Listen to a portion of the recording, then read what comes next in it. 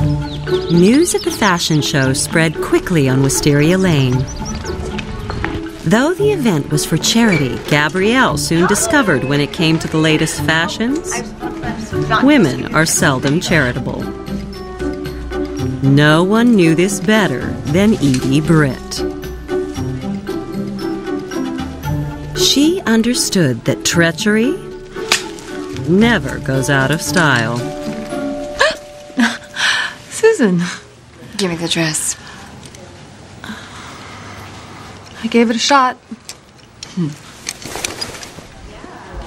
Hi, Helen. Hi. How's the dress fitting? Great. Maybe it could be taken out in the shoulder a little. Sure, no problem. There you go. You know, Gabrielle, I, I never thanked you properly For what? for what you did for my son. It was so nice of you to hire John as your gardener. Believe me, it's been my pleasure.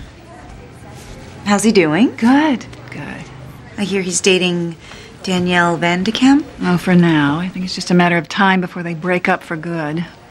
What's wrong? Oh, she just seems to want much more of a relationship than he does. You remember what it was like dating teenage boys?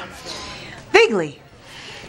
No, Thank you, you. tell that son of a bitch Tanaka that if he doesn't call me in an hour, I'm gonna go down to his office, find him, and kick his ass. Ladies, Trouble at work? I don't know what his problem is. He's making money left and right. Just wish he'd relax. Crap. Crap. Crap. I'm telling you, all of the good dresses are taken. Now, what the hell am I supposed to wear? Well, Mrs. Huber never showed up. Why don't you wear this one? This is an old lady dress. You won't even be able to see my body. That is so like you, Edie. You're always thinking of others. So, why isn't Mrs. Huber here? Last I heard, she went to visit her sister. I just can't believe that Martha would agree to wear this. She always says she'd never be caught dead in black. Sadly for Mrs. Huber, this was no longer the case.